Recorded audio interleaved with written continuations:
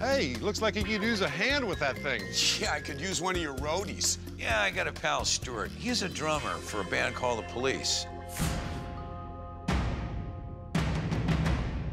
Yeah, those police.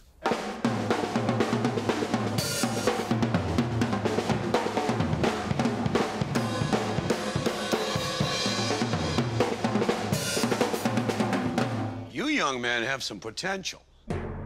I don't really have time to sell these separately, but I do know how to jack the price of these drums up right now. What do you got in mind? You signing them? Oh, that's worth five bucks a drum at least.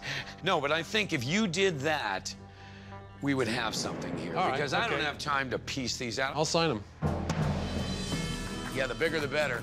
They were worth 1500 but now when Stuart signed them, they gotta be worth triple that for sure.